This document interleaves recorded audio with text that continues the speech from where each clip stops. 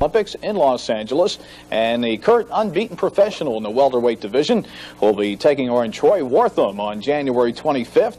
Wortham, of course, the ESPN welterweight champ, will be meeting Mark Breland in Lancaster, PA on that date. A telecast will be coming to you over ABC's Wide World of Sports. We'll have a chance to talk up close and personal with Mark Breland and get an insightful look at this personable young man from the Bed-Stuyvesant section of Brooklyn, New York. All that and more coming up next here on our PCTV Sports Special Knockout.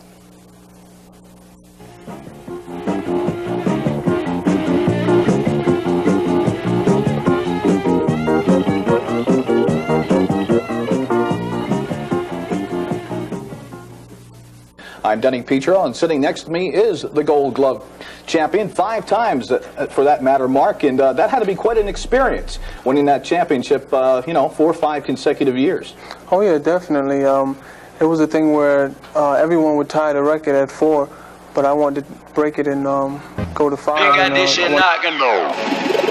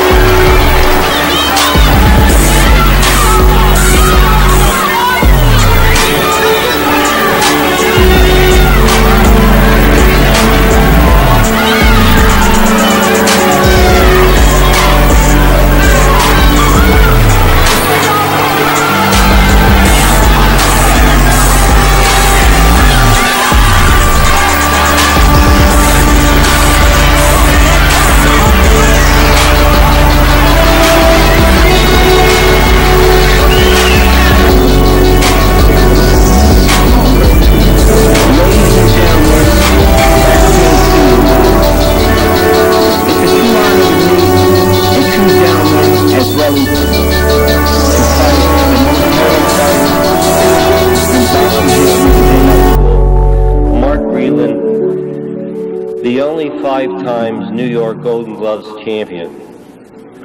He is also 1984 Olympic gold medalist.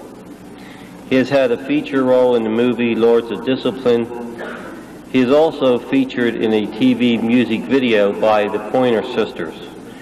Currently, Mark is a professional welterweight boxer with a record of eight wins and no losses. His next match will be held on January 25th against Troy Wortham, current ESPN welterweight champion. This contest will be televised live on ABC's Wide World of Sports. At this time, I'd like to take this opportunity to present to you Mark Breland.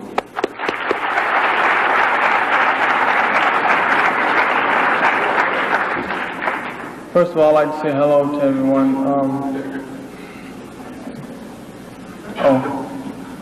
Uh, getting rough. This is tougher than fighting, to tell the truth. Um, well, it's been, well, it's been about four, two good weeks right now. I've been training hard for this, for this fight that's coming up um, against Troy Wortham. And, um, I've been uh, working pretty hard. I really didn't have time to do anything, but when I found out, well, I found this out about uh, maybe a week ago that uh, Marlon Palmer had did something that I did something for me that I didn't know anything about. So um, they told me, well, when you be training, you're gonna have to go down there. And usually I don't take out too much time for training but uh, when I found out that um, Marlon Palmer was doing it, doing it for me, I said, well, no problem. Um, I think it's nice of someone to do something for anyone, really. Uh, even though I know you all know that uh, me and Marlon Palmer fought, uh, my, me and my second, me, I'm flying right now he fought me in my uh, second pro fight, and uh, he gave me one of my he gave me my toughest fight right then, and um, you know for a guy to give me my toughest fight and go and do something for me made me feel good. So I said, well, I really have to uh, go down and uh, see what's going on, see what he's got. Because um, I've been really training hard, getting up at 6.30 in the morning, doing a lot of running, doing a lot of boxing in the afternoon, getting hit upside my head hitting someone else upside the head. And um, it's been uh, pretty tough lately. But, you know, like, um, I'm lost right now, to tell you the truth. But, I'm gonna go off by saying this here. If anyone wanna ask any questions, any kind of questions, I don't care what type of questions, if it's about school, I'll answer them. But uh, I might as well become a comedian right now. But um, if anybody wanna ask any questions, I would be glad to answer any questions anyone like to ask. I started boxing when I was about nine years old, and uh, I've been boxing hard ever since. I know y'all could do better than this because the ninth graders was like that. Your Olympic experience, could you tell us about your Olympic experience and what that meant to you and on the opponents you met? Well, in the Olympics, my Olympic experience was a big one because uh, it was something I've always watched on TV. It was something I've always wanted to do, wanted to win. You know, I looked and I saw Sugar Ray Leonard win the Olympics, and I said, "Wow, you know, that's you know, seems like it's something you know, like a great feeling." And um, when I won the Olympics, it was a great feeling because it was something a lot of people would doubt you to do. A lot of people will push you to do. And uh, I really pushed myself to do it. And it was something that no one can take away from me. Uh, they can take away uh, championship belt by losing, but the Olympic gold medal, no one can ever take that away from you. Then you can always say to yourself and to anyone else that you, you've done something for yourself and you've done something for the United States. Yeah.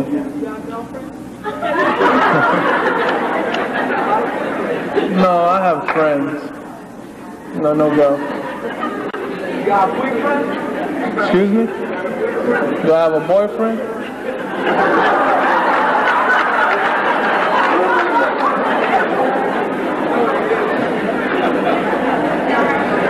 No, I don't go that way.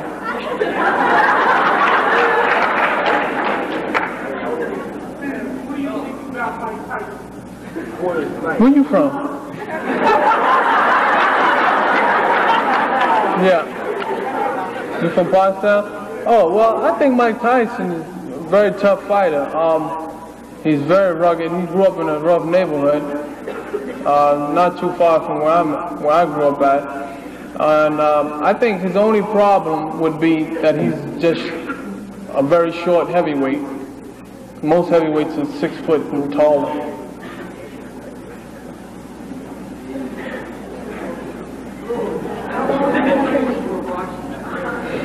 Well, I train, how long do I train for a fight? Um, I would train from four to three weeks. Uh, the first three weeks I would train very hard. The last week I would uh, cut down on the training so I can uh, have something left for the fight.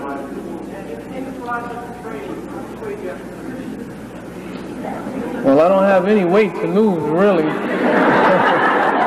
but um, I would probably lose maybe four to five pounds a day, but I would eat it right back on. What advice would you give a young person if they were interested in boxing? Well, if, you know, I would give the advice to a fighter, to someone who is interested in boxing. It takes a lot of determination to become a boxer. A lot of hard work and a lot of dedication. You would really have to dedicate yourself to become a boxer. You wouldn't have to like boxing, you're gonna have to love it. Because no one likes to get hit upside the head. What about Lauren A rematch? Oh, I wouldn't mind a rematch with him.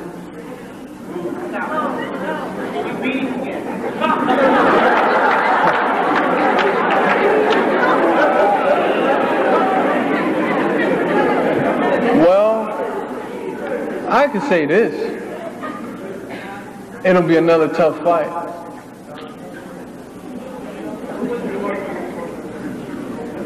Excuse me? Well, I felt great to win the Olympic gold medal because um, it was something I, I did out on my own. I went out and did. But I like to say, on a serious tip, um, you know, um, in order to really get anywhere and to make it in this world the way it is today and society is today, education is, you know, one of the big tips you really have to um, overcome. You would have to really succeed in it because um, anywhere you go, any kind, any type of job you go for, not unless you're a drug dealer, you don't really have to have too much. You really don't have to know how to read. But um, any other, I mean, you know, a job, you would really have to have a um, educational background because uh, that's the first thing they're going to look for. And if you don't have that, you're not going to get the money you're looking for. And I like to say, uh, good night. Good to have a nice day. and thank you very much. I'm glad to be here.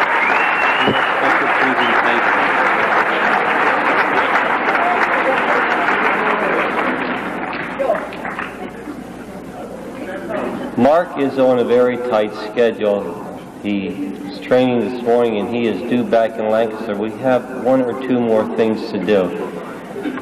Mrs. Yashinsky and Marlon will please come up here. Um, we have as many, I'll speak as they come up.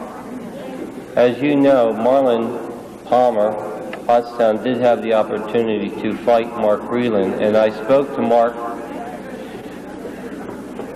in our office today, and he's indicated to me that Marlon was one of his toughest opponents.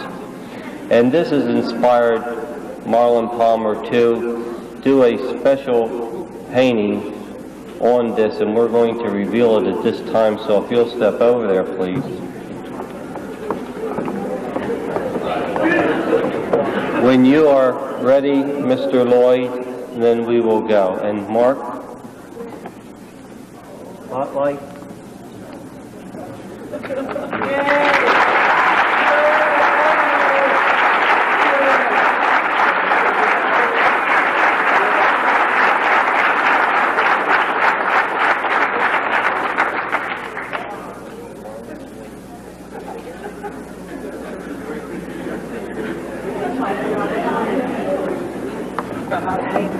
And for this momentous occasion, Marlon has a small token of appreciation to present to Mark Breland.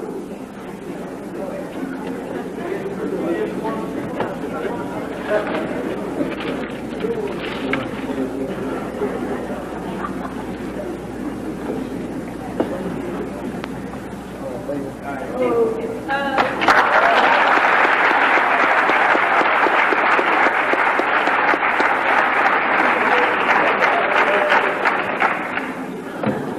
sharp, yeah.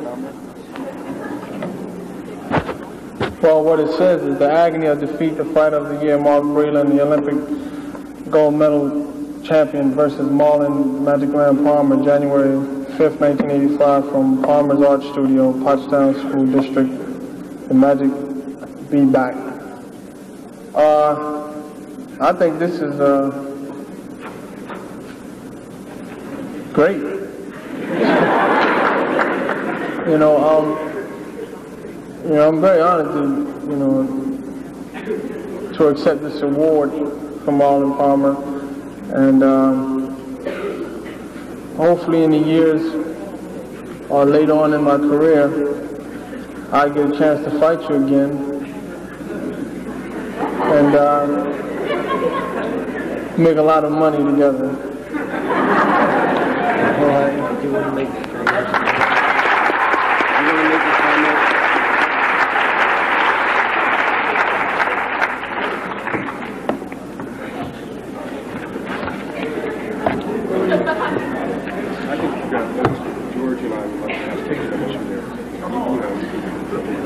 and gentlemen, faculty and students, it's a true honor to meet a true gentleman as well as to fight the most heralded fighter in boxing history today, the, the 1984 gold medalist Mark Breland. Despite the facts of my boxing performance, irrelevant to my conditions, in my viewpoint, Mark Breland is the most correctional fighter since the retirement of the classic Sugar Ray Leonard. I painted this massive mural in dedication of Mr. Brilliant accomplishments in defeating Marlon Magic Man Palmer. The title of this magnum opus, The Agony of Defeat. The fight one year ago, January 5th, 1985. Dear audience, whatever your goals may be, reach beyond your agonies and your defeats, even beyond the most losing proposition. Boxing fans, media experts, says if Marlon Magic Man Palmer fights as well as he uses his paintbrush, as well as brilliant fights, he truly be great one day. I hope we can get together and do it once again. However, Mark Breland, the magic be back. I truly wish the Olympic champion great success in his many pro bouts, even against the ESPN welterweight champion Schoolboy Troy Wortham. I honestly would like to thank ABC Wide World of Sports, Main Events Boxing, the Fight Factory FFKA, the Pottstown School District, and special thanks to Dr. Ray Fight, Mr. Anthony M. Zampella, and the Pottstown Senior High School for making this all possible. Thank you.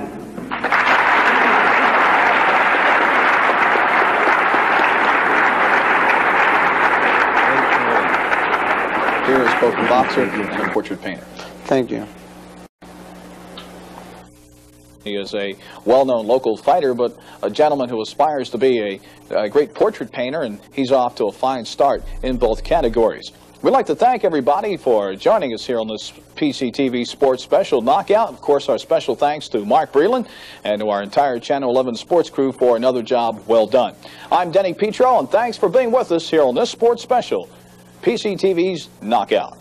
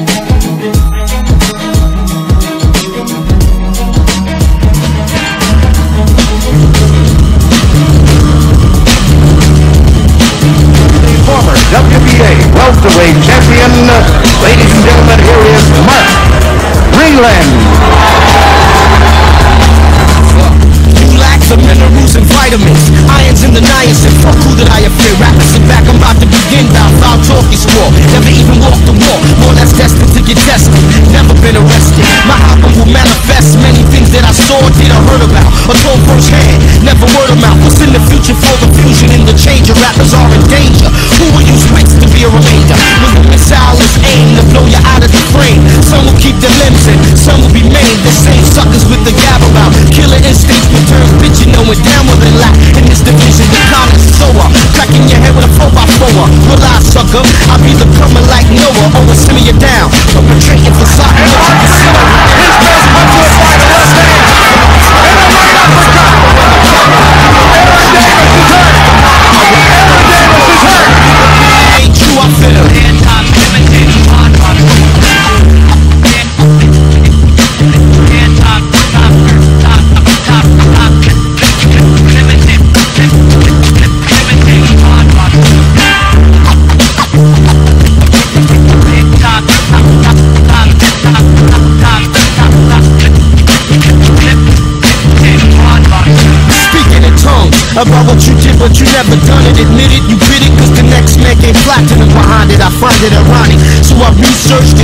and analyzed. Most write about stuff they fantasize. I'm fed up with the bull on this focus of reading clips and It's the same old, same old, just straining from the anal. The contact is not complex, the vex. So why you pushing it? Why you lying for? I know where you live, I know your folks. You was a sucker as a kid. In persona's drama that you acquired in high school and acting class. Your whole aura is plexiglass. What's the face told me you shot this kid last week in the park? That's a lie. Was in church with your mom. See, I know. Yo, slow your roll. We good to go. Guys be locking in this thing called rapping just for dough. Of course, we gotta pay rent, so money connects. But uh, I'd rather be broke have a whole lot of respect. It's the principle of it. I get a rush when I bust some dope visceral. That maybe somebody will quote. That's what I consider real in this field of music. Instead of putting brain cells to work, they abuse it. Now I'm. The short left hand, and he's the same effect. Here to make a difference. Besides all the ripping, the traps are not sticking. Rappers stop flipping for those who pose lyrical, but really ain't true. I feel. The one place he doesn't want to be, trapped in a.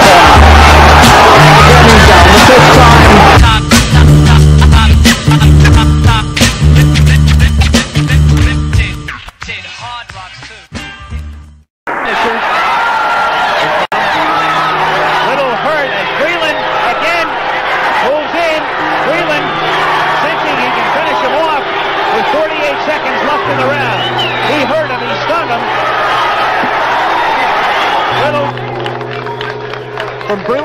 Of Aguirre was the perfect opponent. There's the right hand that got him in trouble, put him down.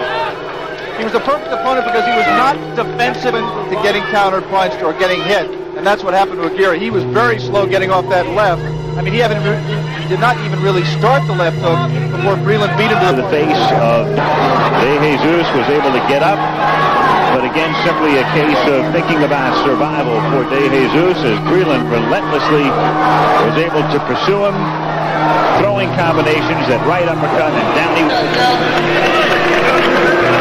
What happened? I was.